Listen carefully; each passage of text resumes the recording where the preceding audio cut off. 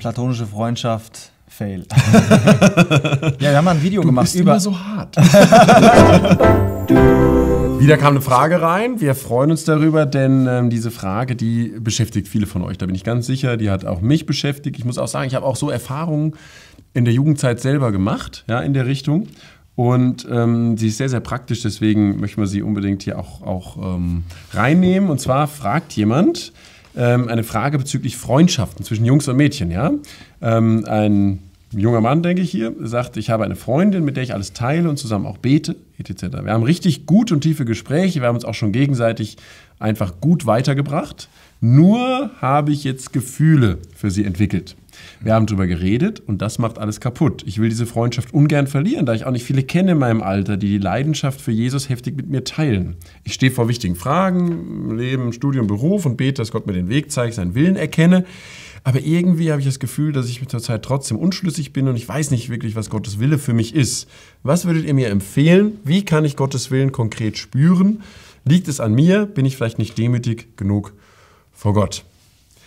Natta, schlechte Erfahrung hier mit äh, Freundschaft zwischen Jungs und Mädchen. Ähm, Platonische Freundschaft, Fail. ja, wir haben mal ein Video gemacht über. so hart. Meinst du? äh, ja, wir hatten schon mal ein Video gemacht über platonische Freundschaft und äh, da hatten wir eigentlich genau diesen Fall äh, geschildert. Guckt euch das mal an, ne? Also einfach bei den Beziehungsepisode Platonische Ja. Freundschaft Crosstalk nachgucken. Wie gesagt, wir haben das auch in unserem am Leben äh, kennengelernt und ähm, ja, auch schon viele anderen gesehen, wo das passiert ist. Das ist natürlich super schade, aber du bist nicht der Einzige, wo das äh, der Fall war. Die anderen, die ihr das euch einfach anschaut, ähm, nimmt es euch auch einfach zu Herzen.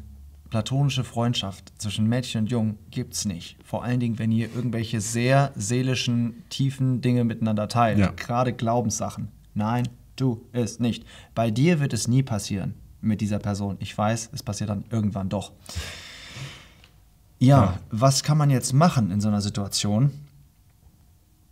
Ich habe auch schon Situationen gesehen, wo das dann sehr gut ausgelaufen ist. Und ich will mal sagen, es ist jetzt nicht eine Sache, die dann auf lebenslang irgendwie Probleme schaffen sollte. Ja, äh, manchmal ist das so, dann ist es ein bisschen Herzschmerz für vielleicht ein paar Monate oder auch ein paar Jahre. Aber hinterher, wenn ihr heiratet, dann ist auch alles wieder gut und jeder weiß, dass man, man einen Fehler macht im Leben.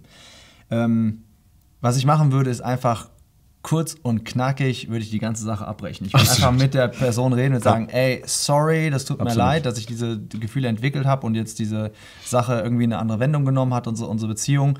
Das Beste ist einfach, wenn wir keinen Kontakt mehr haben, tut mir wirklich leid und die Person will eine Sache sehen in deinem Leben, nämlich, dass du Buße tust. Das ist ganz interessant, auch in der Welt. Was Personen sehen wollen, ist nicht nur, dass du dich entschuldigst, sondern die wollen sehen, dass du dich auch wirklich in deinem Leben veränderst. Ja. Und wenn du das tust, dann wird die Person, das Mädel, vielleicht hinterher mal stolz auf dich sein. Und die einfach sagt, ja, da hat er mir, ist er mir in den Karren gefahren oder vielleicht da hatten wir eine super Freundschaft, plötzlich hat er sich in mich verliebt und so weiter. Aber danach war der echt korrekt, so mit Mädels hat nichts mehr angefangen, irgendwie mit einem Mädel anzuwenden und so. Und ich, das ist ein klasse Typ. Und deswegen ähm, muss man halt hier sagen, ich will diese Freundschaft ungern verlieren, verstehen wir, aber wir müssen echt ziemlich absolut sagen, du musst sie verlieren. Es geht nicht anders, ja. Das klingt für euch jetzt sehr absolut, aber es ist die Wahrheit, ja. Es ist die Wahrheit, durch die wir aus der Bibel erkennen. Guckt euch diese anderen Videos an, da haben wir das ein bisschen ausführlicher erklärt, aber diese Wahrheit wird extrem bestätigt durch alle unsere Erfahrungen, ja. Es gibt so viele Geschichten wie diese und es funktioniert nicht, dass du diese Freundschaft beschützt, ja, äh, also bewahrst, behältst. Es geht nicht. Es ist einfach unmöglich, weil diese Gefühle, die sind schon da. Ähm, und deswegen wirst du wirst die jetzt nicht künstlich ausschalten können und dann diese gute Beziehung äh, mit dem Teilen des Glaubens an Jesus irgendwie weiterleben können. Du musst es wirklich abbrechen. Und für die, die, die so eine Freundschaft, die, die vielleicht so weit sind, dass sie meinen, sie leben gerade so eine Freundschaft, aber sie haben sich noch nicht gegenseitig offenbart, dass Gefühle da sind. Sie haben noch, sind noch nicht an dem Punkt hier, wir haben drüber geredet und das macht alles kaputt. Lasst euch bitte sagen, dann beendet jetzt, bevor ihr drüber reden müsst, diese Sache. Ja? Genau wie Nata gesagt, kann ich nur voll bestätigen.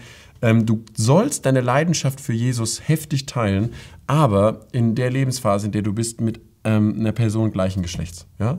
Such dir als Mädel wirklich ähm, andere Mädels, andere junge Frauen, die auch den Herrn lieb haben und teilt doch da den Glauben und dann wird das befreit von diesen unreinen Vermischungen. Es ist viel schöner. Auch, ja? Und wir können das wirklich sagen als Jungs. Es ist richtig schön, den Glauben an Jesus zu teilen, darüber zu sprechen, zusammen zu beten, zusammen zu singen, zusammen anderen Menschen vom Herrn erzählen, dem Herrn gemeinsam zu dienen. Es ist richtig schön. Da kommt da werdet ihr Leidenschaft erleben, wo, wo, wo, ihr auch dann wisst, das ist jetzt wichtig, die Leidenschaft an Jesus und nicht die Leidenschaft ähm, für die sexuelle Ebene, die ich bei einer anderen Person halt dabei habe. Also was könnt ihr empfehlen? Wie kann ich Gottes Willen konkret spüren? Erstens, du spürst den nicht, sondern du erkennst den Willen Gottes. Ja? Spüren liegt auf der Emotionsebene mhm. und den Gott, Gottes Willen, den erkennst du durch den Heiligen Geist und der wirkt ein auf deinen Geist, ja? nicht auf deine Emotionen und auch nicht auf deinen Körper. Deswegen, das erkennst du durch den Heiligen Geist, indem du betest oder die Bibel liest. So wirkt der Geist. Erste Sache, Gottes Willen erkennen. Und wie erkennst du den Willen Gottes? Indem du erstmal den erklärten, klaren Willen Gottes, mhm. den generellen Willen Gottes, der vor dir liegt, dass du den erstmal machst. Und weißt du, was das ist? Das ist, dass du erstmal diese Beziehung aufhörst. Das ist das Allerwichtigste. Die Furcht Gottes ist der Anfang der Erkenntnis. Ja? Mhm. Sagt, äh, steht in Sprüche 1. Das ist das Allerwichtigste, dass du erstmal das machst, was du, was vor deinen Füßen liegt, dass du dich trennst vom Bösen. Und in diesem Hinsicht ist diese Beziehung nicht unbedingt, was Gott will. Gott will keinen Herzschmerz, der will, dass du ganz andere Sachen machst, okay? Deswegen das erstmal auf Seite tun, ja. dann wirst du auch einen klaren Blick bekommen für die Sachen, die Gott vielleicht jetzt in deinem Leben vorhat. Und da sind das ein paar super tolle Sachen. Ja, denn das hängt, das hängt zusammen, ja? Du kannst mal, geh mal in eine richtig, richtig, richtig äh, ordentlich verbunkerte Tiefgarage rein und guck mal, wie viel Handyempfang du hast, ja? Mhm. Ähm, das ist einfach, so ist das auch bei uns mit diesen Beziehungen. Also ich habe das in meinem Leben wirklich erlebt, mhm. ja? Wenn du äh, in, umgeben von den Mauern letztlich der Emotionen, mhm. ja, die einfach durch so eine zwischengeschlechtliche Beziehung, die sind da die können wir nicht ausschalten. Die sollen wir auch nicht ausschalten, weil ja, Gott doch genau. gesagt hat, ich habe sie doch ja. gegeben, weil in der richtigen Beziehung soll es richtig, da soll es auflodern, ja, das soll einen mhm. Flächenbrand geben, das soll richtig ausgelebt werden.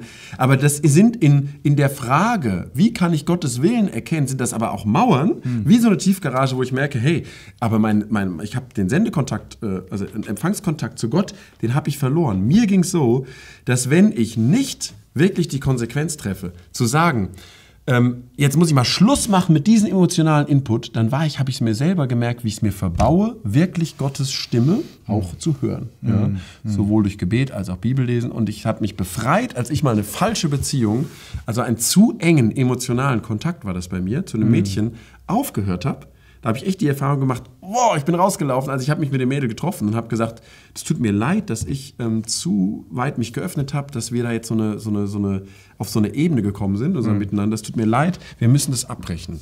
Und ich sage euch wirklich aus Erfahrung, ich habe danach richtige Freude und Freiheit in meinem Glauben erlebt. Mhm. Ja? Und habe wieder viel mehr gehört, was will der Herr, und auch als ich für meine Frau gebetet habe, weil ich wusste aus der Vergangenheit, ich bin super schnell empfänglich für diese emotionalen äh, Ströme, habe ich dann auch echt drum gebeten, mit ihr, dass ich den Kontakt sogar mal eine Zeit lang ganz abbreche. Das ist keine Pflicht, dass man das unbedingt so machen muss. Ich will es euch nur mal als Beispiel sagen, dass ich genau das, was Natta auch eben sagt, ich will erst wirklich genau auf den Herrn hören mhm. und mich dann auf diese andere Ebene einlassen. Dazu mhm. hat mir geholfen, das andere mal richtig auszublenden. wenn du ein junger Christ bist, dann wollen wir dich total ermutigen, mach nicht so viel durcheinander in deinem sowieso sehr ähm, em, em, sensiblen Herzen, mhm. ja? sondern ähm, weihe es Gott. Ja? Und warte darauf, dass dann Gott dir zu seinem Zeitpunkt auch die andere Ebene aufschließt. Jo. Viel, viel äh, Freude, Kraft dazu, auch diese Entscheidung zu treffen. Mhm. Du kannst uns auch eine, vielleicht eine kleine ähm, Message schicken über WhatsApp oder so. Ähm, Ob es geklappt hat oder so, würden wir uns auch sehr freuen. Wir würden sagen dann für die anderen bis zum nächsten Video. Ciao.